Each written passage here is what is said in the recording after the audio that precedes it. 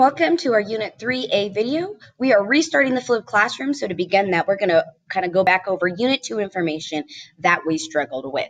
So, we have some student questions. Again, remember, this is a video. Pause, rewind, slow it down as you need to. So, here are student questions for inverses. Can you answer these five questions by Friday? Then you get our topic. Can you answer these three questions about the law of sine and cosine by Friday? Then you understand this topic. Can you answer these seven questions about graphing by Friday? Then you understand this topic. And these will pop back up in every section. So, inverses. We're going to start with what an inverse is, how to graph it, and how to solve it. Here are those questions one more time, but let's just dive on in. First of all, what is an inverse? The formal definition of an inverse is a function with a one to one, so that means 1x for every y, a function that is reflected over the origin line. So here I have a square root function. In red, I've now created the origin line, y equals x. If it was the other way around, then we would have y equals negative x. Cool. So now in the dotted line, I have actually graphed the inverse of that square root function. I think it's x squared plus 2 or something like that, minus 2. Who knows what I did. But you can clearly see that there are reflection points over this origin line. That is what an inverse is. But then you might say, what about in trig? Same concept. In the dotted line, we have arc sine. In the solid line, we have sine. And then there in red is your inverse line, reflecting over. But how do we test this? Okay, so recall that you tested an inverse. Either you used a t-chart, figuring out that there was one y for every x, one x for every y, or you did a vertical line test. But if you can do the vertical line test for the inverse, you can do the horizontal line test for the, sorry, if you can do the vertical line test for the function, you can do the horizontal line test for the inverse. Why is this so important? Well, this image is going to show us exactly why this is important. Not all functions are an inverse all over, but you can restrict a function to be an inverse wherever. So in this case, this portion from here to here is an inverse, and this portion from here to here is an inverse as well. But as the line turns red, it doesn't pass the horizontal line test. So we would restrict this function. It would be an inverse in some parts and not an inverse in another part. This is very important as we talk about inverse trig. So just a recall about inverse uh, trig equations and how we set them up. Normally, you would set them up as sine of some angle was equivalent to the sides of your angle. But in an inverse, you literally flip these values. So now you have the inverse sine of the sides of the triangle must be equal to the angle. So what are we solving when we solve an inverse function in trig? You're specifically looking for the missing angle.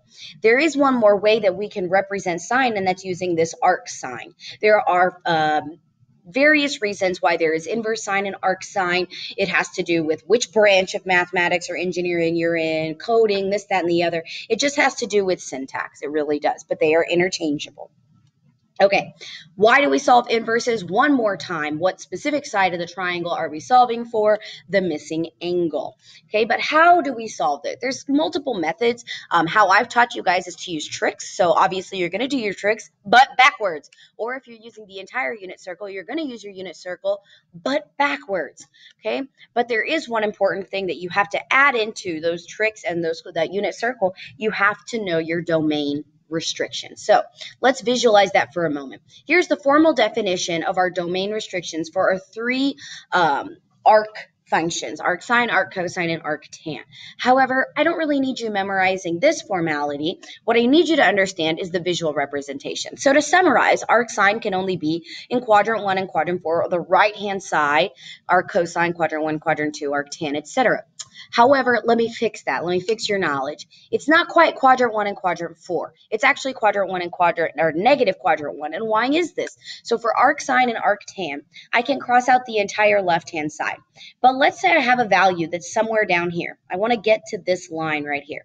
All right, so I start, what happens? I hit a restriction. I cannot go that direction. So what's the only other way to go? The negative direction. So that means we have quadrant one and we have negative quadrant one. So there's a visual representation why our values actually exist in quadrant one and negative quadrant one. So here's that visual representation. You can obviously, we've restricted this domain because it wouldn't work. Here you can see the visual representation of reflecting over the y equals x line. Here the same thing for cosine. And finally, the same thing for tangent. Moving forward, how do we use our unit circle with the inverse with y? Well, sine is always going to be your y value. So if I have, if I know the inverse sine of 1 half, then that means my answer was pi over 6. Or negative 1 half, then you might say my answer is 11 pi over 6. But if you remembered, if this is pi over 6 and I cannot go all the way around to 11 pi over 6, this is actually negative pi over 6. So that's how you use sine. What about cosine? Again, cosine is just the x. So if I was looking for the square root of 3 over 2, that would be pi over 6. Or the negative square root of 3 over 2, that would actually be 5 pi over 6. Two answers. That's it. What about tangent? This one gets a little funky. For those of you who memorize the unit circle or the first quadrant as your trick, I want you to recognize this basic formula right here. We know tangent comes from sine over cosine, or it comes from y divided by x, or y times 1 over x, or whatever, however you want to see that formula. There's an easier way to see it. If you know that tangent is simply the y numerator over the x numerator, you're good to go. So here I'll show you. 0 divided by 1. Great, that's 0. 1 divided by the square root of 3. That's 1 over the square root of 3 or the square root of 3 over 3. Square root of 2 over the square root of 2. That is 1. Square root of 3 over 1. That is the square root of 3. 1 divided by 0. Uh-oh, that's undefined or infinite. Guess what? Those are my five tangent values. So kind of get in that process. But let's solve something. Let's say I was looking for the square root of 3 over 3. I already told you that one. That's this one. So I go through and I check all of my y over x numerators. Okay, this one can't be it. This one can't be it. This one can't be it. This one can't be it. By process of elimination, it is this. And if I remember how to rationalize, I can see that they are the same exact value. Cool. What if I was looking for tangent of negative square root of 3 over 1, then that would be this value right here, which would normally give you 5 pi over 3. But again, tangent and sine, they are quadrant 1 and negative quadrant 1, so it would have been negative pi over 3 would be my answer. That's simple. All right, let's move on to our hand trick or our chart trick. So if we have our hand trick or our chart trick, we can't forget to ASTICA. Uh, we can't forget our domain restrictions depending on what it is. And then we just simply go backwards. So if it's our hand trick, let's say I'm looking for sine of 1 half. Then that sine formula, square to the bottom over 2. So the 2's will cancel. And I'm looking for one finger from the bottom. So I count one finger and I fold the next. You can test it backwards, but this is pi over 6. If I was a positive answer, my answer would be pi over 6. If it was a negative 1 half, my answer would be negative pi over 6. But let's test it. What's the sine of pi over 6? It's the square root of 1 over 2, which is 1 half. So it works. If you're doing the chart trick, instead of doing A, B, or sorry, instead of doing A, B, and then C, right? Because you would say I have sine of pi over 6 is equal to 1 half. You're going to do A, B, C. So if I know 1 half, I'm searching for sine, then I go back to the angle. So that's just how you use those two tricks. So here's my first example, inverse sine of 1 half. I'm going to use the hand trick just to make my life go quick. I'm going to put this on here. All students take calculus. So I can't have the left-hand side. Sine is going to be bottom. So 1 fold the next. So that means this is pi over 6 or negative pi over 6. How do I check? Well, 1 half is positive. Where is sine positive? In A. So then my answer is pi over 6. Let's try arc sine of negative square root of 2 over 2. What's the only difference between this uh, word and this word? Nothing. They mean the same thing. So I count two fingers from the bottom. One, two. Fold the next. That's pi over 4. So my answers are currently pi over 4 or negative pi over 4. How do I determine? Is it negative or positive? Well, it's negative. Sine can only be negative in this quadrant. So there's my answer. Yes, it is that simple. All right, let's try cosine. I'm going to cross out the whole bottom this time. Cosine is from the top, so I count two fingers from the top. Boom. Okay, so that means my value is pi over 4. Or, not this time negative pi over 4, but it's going to be 3 pi's over 4. So I ask myself, where is cosine negative? It's negative in this quadrant, so my answer is 3 pi over 4. What about negative 2? Okay, well, I think about it. There's two different ways I could look at this. So, negative 2. So, where is that? Hold on. My formula is the square root of the top divided by 2. So if I set that equal to 2 over 1, what happens here? There is no correlation, right? So then maybe I think, okay, well, maybe it's somehow simplified, and it was negative 4 over 2. So let's count four fingers from the top. One, two, three, four. Okay, so maybe it's 0. So let's test that out. The cosine of 0 is not negative 2, is it? Uh-oh. So then I remind you, what are all of your values? What are all of these fingers equal to? Think about all of your xy values. They go from 0 to a half to the square root of 2 over 2 to the square root of 3 over 2 to 1. And that's it. They toggle between those values, positive and negative. So all sine values and cosine values toggle between 1 and negative 1 unless they've been transformed that's a totally different story. And as we move to solving, you're going to understand you're still going to toggle between 1 and negative 1 because you're going to get rid of all the outside. But anyway, we're toggling between 1 and negative 1. So can my sides ever equal negative 2? Not the way it is, so it is undefined. What about tangent? This is the one that messes up a lot of kids. So again, I can't have the left-hand side. I know that the square root of 3 over 3 is actually 1 over the square root of 3. So then I go to tangent. In this one, I'm not counting bottom. I'm not counting top, but I'm figuring out top over bottom. Top, right? The sine value, 1, over the bottom, which is the cosine value. Sorry, sine, cosine. That's what I was trying to say. Bottom over top, bottom over top. Tangent is bottom over top. I'm showing you the physical, but I'm not saying the right word. Sorry. So tangent is going to be 1 over 3. Where did it happen? Let me show you that one more time. One finger, sine, over three fingers, cosine, is my fraction 1 over the square root of 3. So what finger did I fold down? I folded down pi over 6 or negative pi over 6. So I ask myself, where is tangent positive? It's positive in this quadrant, so my answer is pi over 6. And if you go back a few seconds to watch that part part where I show you all the tangent values, you can prove it to yourself that this is that same spot. All right. So here's your first pause and do. I hope you get it. Otherwise, it's going to take you back. Alrighty, so graphing inverse trig procedures. So how do we graph the trigs? First, you have to identify the inverse. Basically, solve away all the nonsense, and I'm going to show you that. Create a table. Typically, you're plugging in a y value to solve for x because it's an inverse, and I'll show you what that means visually. Plot your lines, connect the dots, and voila, you're done. It's that simple. It's just like creating any graph. You just T-chart and go. But because it's an inverse, you have to start a little funkier. Let's say I'm given this. y is equal to arc, arc cosine 2x. For those of you who struggle seeing arc cosine, I could rewrite it like this. y is equal to the inverse cosine of 2x. So how do I figure out an inverse? I switch my equals and what's inside the parentheses. So now it becomes this. 2x and y literally switched places. And cosine inverse became standard cosine. How do I get x by itself? I divide the 2. Ta-da! Now I have x is equal to 1 half cosine y. These are kind of interchangeable formulas. The only difference is one has a restriction, the other technically does not, so you'd have to restrict it yourself. But anyway, we're going to do that in the t-chart. So we're ready to make our table, and we're really graphing this right now. But in order to make sure we have everything correct in this table, we're going to ask ourselves what our domain and range restrictions are. So if you recall that the domain restriction of arc cosine is to cut out the whole bottom half, that means that you are allowed to go from 0 to pi.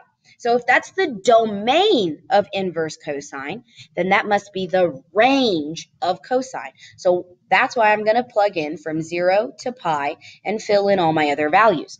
Where did all my other values come from? Those are just values found on the standard unit circle. The only one I skipped was pi over 3 and 2 pi over 3. I could have added those in, but for my screen, I just, you know, I needed a little bit of space, so I just set it to this. But anyway, so now I'm literally going to plug in each of these values. So cosine of 0 and then times 1 half. Cosine of pi over 4 and then times 1 half. Cosine of pi over 6 and then times 1 half. And that's what I end up with. Literally, I plugged them in. Now I'm ready to graph it. So here I created a graph. I'm going to graph my y's.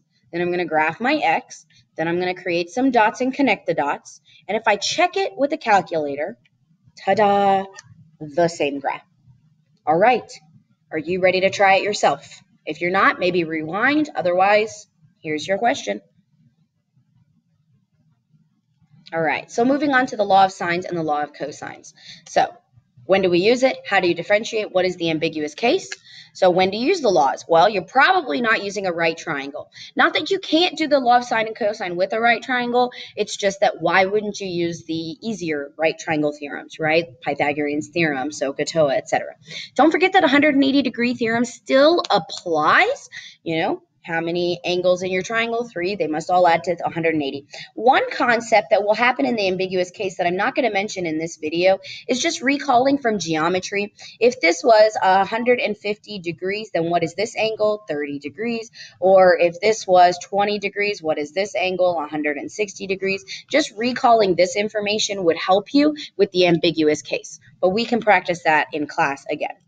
So a little bit of a law, like a little bit of rules for law of sine and cosine. Peanut butter and jelly tells me you can figure out your own pattern. But my pattern is I want to use the law of sine when I have my three out of four rule, or you can see that as one visible variable. I know I want to use the law of cosines when I have two sides and an angle and I'm solving for the angle side, or I have all three sides and I'm solving for one of the angles. You may have triangles where you end up using both the law of sines and the law of cosines, and that's okay. And finally, don't forget the ambiguous case. Specifically, it's side-side angle. And I know some of you might look at that and read it backwards. And so I might say, this is the donkey case. So if you have a donkey case, this is where your angle is not between your two sides. So I can't visualize it because there is an ambi- there's ambiguity, uh, ambiguity with it. You can look at the image to kind of see that or come see me if you need more examples of why it's ambiguous. But the reality of it is, is if you have a side-side angle case, you have to test it first. When looking at my chart, A means the angle side, B means the other side, and capital A is the given angle, oops, typo, angle that is opposite of side A. So let's see. Here's the law of sines. It is a proportion. You don't need all three fractions. You only need four four parts. Okay, so this is what I mean by three of four parts. Let's say I have a real number here and a real number here and a real number here. That's one, two, three, and only one visible variable. Okay, so that's all I mean by how do I use and set up my law of sines. What about the ambiguous side? Again, I have that typo here. This is supposed to say angle, my bad. Here's the visual representation of why it's ambiguous. And again, in this example, A is not your A. B is not your B. Capital A is not your capital A. If you have, you have to check. A is the angle side. B is the other side. A is the given angle that is opposite of A. Some a formula to recall is h is equal to b sine of a. So again, h is equal to the other side times sine of the angle. That's what it means. All right. Here's my chart that I provide. Here, the the angle side is less than the other side, and the angle side is less than h. Angle side is less than the other side, angle is equal to h. Angle side is less than the other side, angle side is greater than h. Angle side is greater than the other side. That's what this means. This acute references capital A. This obtuse references capital A. It has nothing to do with your two solution question where you have acute and obtuse. That is separate. All right, so here is my first question. Solve this triangle. I know it's an angle, angle side, so it's probably law of sines, but just in case, why not set up all three fractions and test from there? So if I start with sine of 35 degrees its side is little a is equal to sine of 103 degrees. Its side is 20 is equal to sine of capital C and its side is little c. So if I cover up portions of it, so let's say I cover up the first fraction, how many variables? Ooh, two variables. If I cover up the middle fraction, again, three variables. If I cover up the last fraction, ooh, now I have one variable, right? Right here, I only have one variable. So now I cross multiply. This 20 comes in front, 20 sine 35. This A comes in front, A sine 103.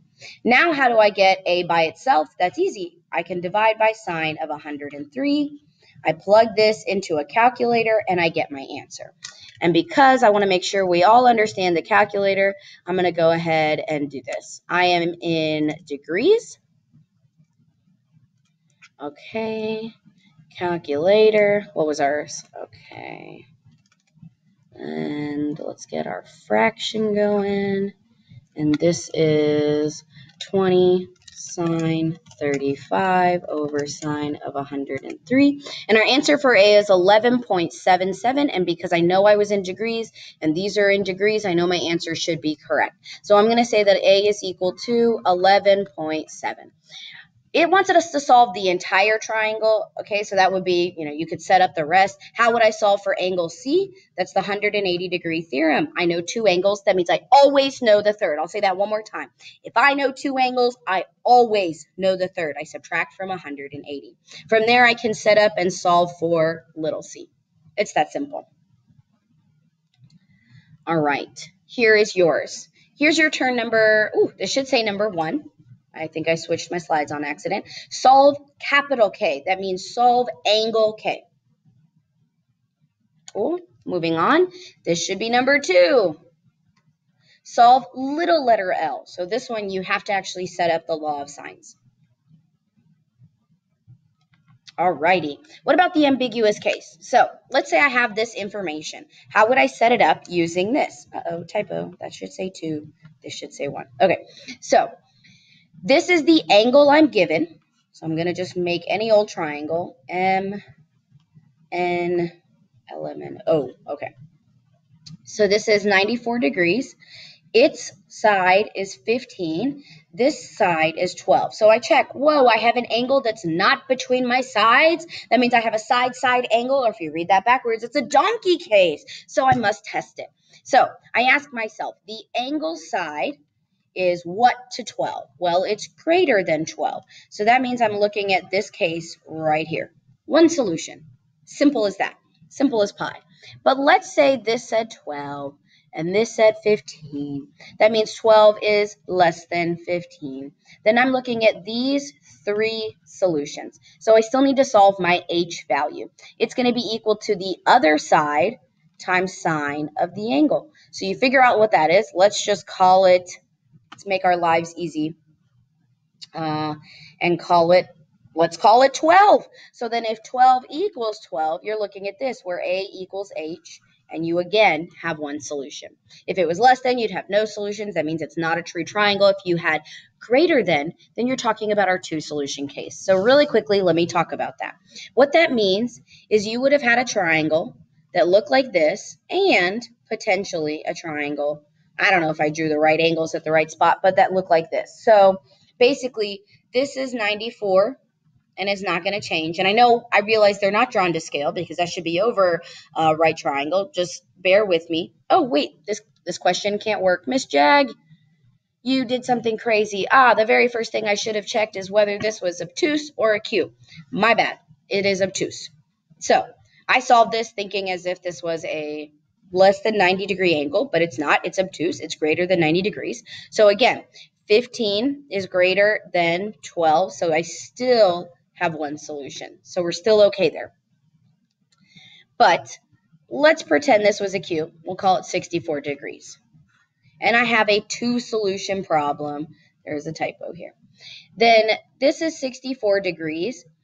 And then I'm going to solve, uh, what is this? This is M, then this is M and O. So this is M, little m, and this is little m. Okay, and this is little o. So that means that O could truly change. It could also look like this. Sorry, N can truly change. Miss Jag is all sorts of crazy today. How do I draw an obtuse triangle? There we go. So this is still 64 degrees, but now this angle has changed. And this is where I said if you recognize your complementary angles, complementary, supplementary, supplementary, complementary.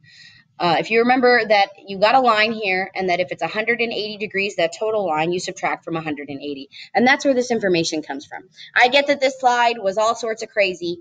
I want you to still give it a try. I feel like I could talk kind of quickly through it because we did practice this all last week, doing three days of bingo with the law of sines and the law of cosines. So again, this is just a reset recall. But what about the law of sines? So recognizing here, I could have given you any of these formulas. I don't have to give you all three because no matter what, the outside value are matching, right? Side to its angle, side to its angle, side to its angle. No matter what, these are the other sides, and these are also the other sides. So it's the same pattern each time. So let's set that up. We have this information. You can read about the hockey player, and they gave you this image. So, to make my life easier, I recognize that because I have three sides, I'm using the law of cosine, and I'm going to go ahead and redraw that triangle. Make it nice, big, and easy for me. So, my formula is uh, what are we looking for? The player's shot angle. So, this side, I'm looking for angle A. So if I'm looking for angle A, then that means I'm going to do cosine of A. That means out here it should be little a. So everything else should be all my other letters, all my other numbers. Okay. So this is little c, this is little b, and this is little a. So this becomes 6 squared is equal to 20 squared plus 24 squared minus 2 times 20 times 24 cosine of a. I can subtract these. 6 squared minus 20 squared minus 24 squared equals negative 2 times 20 times 24 cosine of A. I can divide this.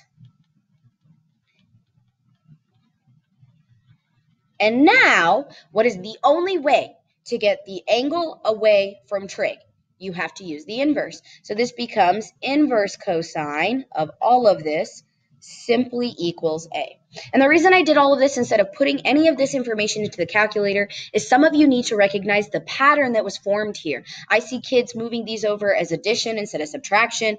They subtract and uh, add this instead of dividing. I'm seeing some funky order of operations. So I'm, I'm just showing you the true pattern. But if I plug that into my calculator, I end up with 6 squared minus 20 squared what is it, minus 24 squared all over negative 2 times 20 times 24. Oops, this is all supposed to be in parentheses, and this is supposed to be, uh, I might have messed this up. Let's see if I can do this. Copy, paste. Cool. Okay. And we end up with 11.7. I am in degrees, so we're good there. So now I know that angle A is equal to 11.7 degrees.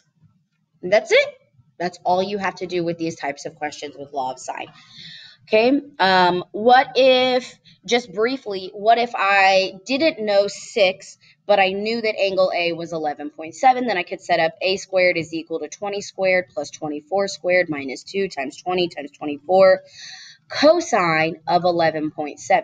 The only thing left to do here is get rid of the square. And guess what? I'm ready to do all of that in a calculator. So again, I'm trying to help y'all out because some of you, when you're doing those small maths, 20 squared, 24 squared, negative 2 times 20 times 24, sometimes we're making some funky order of operation errors. And then you get funkiness in your calculator or you don't get the right answer. You, you get scared that it's not the right answer. Remember, it might just be the calculator, it might be your order of operations. Know your PEMDAS forward, know your PEMDAS backwards, and how that works. All right, here is your turn. You have an image, work through it, and you are solving uh, the angle that is formed by the two trails that lead to the camp. So I'll help you out. If this is your camp and these are the two trails, this is the angle you're looking for. All right, try it. Moving forward, graphing trig. So this is where a lot of kids got stuck. So can you answer these questions? Then you are really ready. Here's my favorite graph. And just a recall. It really is as simple as following the formula, plugging them in, shifting, and going from there. So here's one period of each graph. If you don't know what these six look like, you're going to have a hard time. Tangent, cotangent, secant, and cosecant. But today, right now, we're focusing on sine and cosine. So you have this, but I broke it down for you. Amplitude is your x, period is your y, vertical shift is your k value, so like your up and down movement, period shift is your left to right movement, and it does what you think it does. So if it's negative, it moves left. If it's positive, it moves to the right. So here is some information I gave you, but really let's just dive on in. So the first thing we have to do is plug it all in. So here's my formula chart. I wrote it all out perfectly color coded for you so you could see exactly what your A, B, and C, K were. C and K can be zero, but A and B cannot be zero. They are coefficients, they are attached. So if they are invisible, they are equal to one. So I'll say that again. C and K, if they're invisible, they are 0. A and B, because they're coefficients, if they're invisible, they are 1. Okay, so I plug it in, plug it in, boom, I got all my information. Now, how do I graph that? First, I'm going to label my amplitude. Again, that's the x-axis, my highest x, my lowest x. Then I'm going to label my y-axis. Okay, but that's, you know, it's reminding you that sine's going to start at 0. Cosine would have started at a or negative a. So identify your period. You're going to cut them into fourths. Okay, then you're going to label them. So 2 pi, 2 pi times a half, 2 pi times 3 quarters, 2 pi times one, uh, 1 quarter. So again, what is this formula that I did? This is period. This is 3 fourths times period. This is 1 half times period. This is 1 fourth times period. If you do not, if you don't get this concept, it's because you are avoiding your fraction math. Stop avoiding it. I literally did 2 pi here. 2 pi times 3 fourths becomes 6 fourths, becomes 3 halves pi. 2 pi times 1 fourth becomes 2 over 4 becomes 1 half right here. 2 pi times 1 half becomes 2 over 2 becomes 1 right here. That's literally all I did. Okay, what about the vertical shift and uh, period shift? We have an example coming up with that. But first of all, I need to know my five points a lot of you, this is where we saw the most problems. You're putting your points wherever you want. You're starting here and then you've got points all willy nilly, a million maxes and mins. Stop doing that. These dash marks have a purpose. They are literally your points of intersection. Whether it's a max point, a min point, or your x intercepts, they are important points. Now I can connect the dots. So there, I've giraffe that graph. Cool. Now let's see a cosine question. I solved everything. Now I'm going to label my x-axis. Then I'm going to label my y-axis. Again, this is going to be pi over 2, then pi over 2 times 3 fourths, pi over 2 times 1 half, pi over 2 times 1 fourth. So that's where these values came from. Cosine is going to start at a or negative a. Because it's positive, it's going to start at a, not negative a. So I create my points. Intersect, min, intersect, max, and then I graph it. That's it. Now let's look at a shift. This is where I know we struggle with. So completing all the same initial steps. Here are my points. Why don't I want to draw yet? Because I want to shift the points. A lot of you guys are drawing and trying to shift the graph. It doesn't work that way. It's the points that shift because that's what really matters. Everything else is connect the dots. So how am I shifting this? I'm shifting up by, or sorry, down by 3, and I'm shifting to the right by pi. So there we go, down by 3, right by pi. So each point is literally going to go right by pi, down by 3, right by pi, down by 3, right by pi, down by 3, right by pi, down by 3, and there's one more coming, and right by pi and down by 3. Now I'm allowed to graph this. Ta-da! That's how you should be graphing all of your sine and cosine graphs. And this is why you end up with an invisible graph before or whatever it was. All right. Here's your question. I really hope you can succeed with this. What about graphing other tricks? So focus right now is going to be tangent, cotangent. Don't forget what each of these graphs look like here is that information. The A is no longer your, it's going to be your x-axis, but it's no longer your max and min. It's going to be your bendy point. I'll show you that in just a second. Your period is still going to be from start to finish, but with tangent, you've got a funky thing. And this is where a lot of kids messed up. Vertical shift up and down, period shift left and right.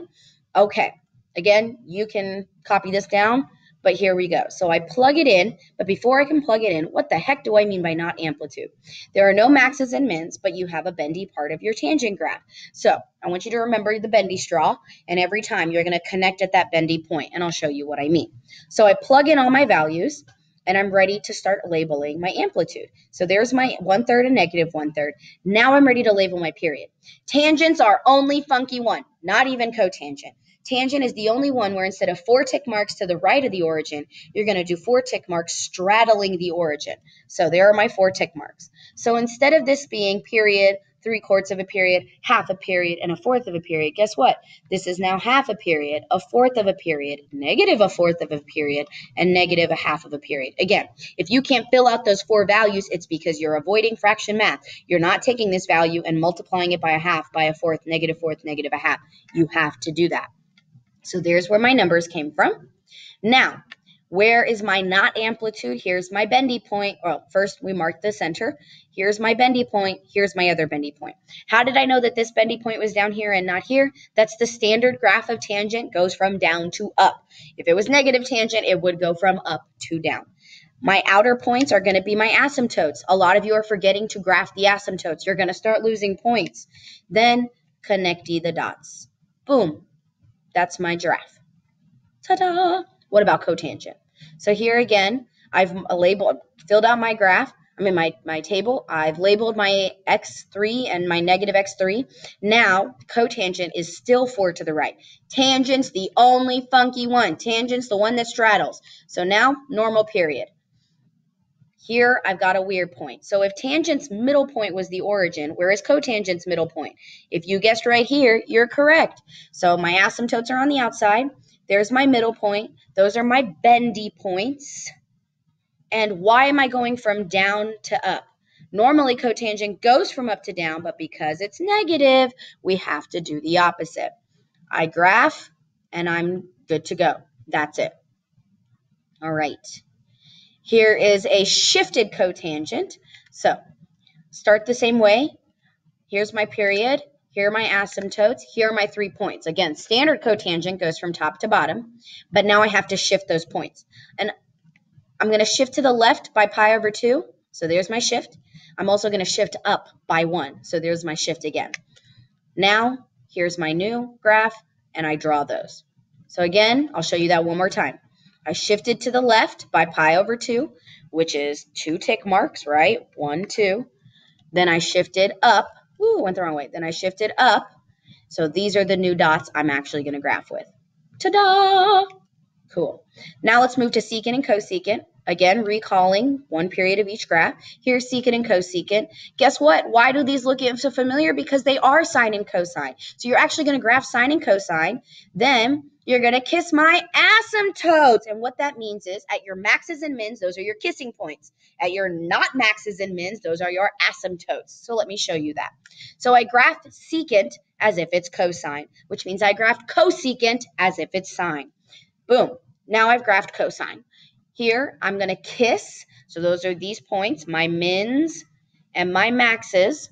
And I'm going to asymptote everywhere else. And at my kissing points, I redraw in the opposite direction. In pink is the actual graph of secant.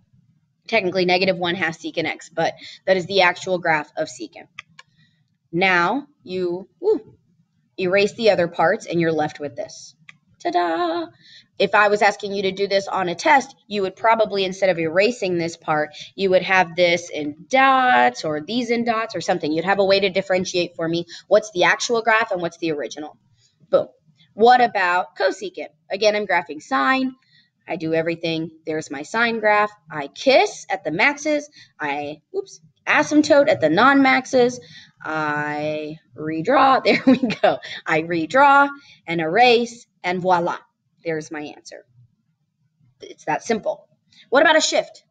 Okay, so here's my original sine, but I kiss, redraw, erase. Uh-oh, did I shift?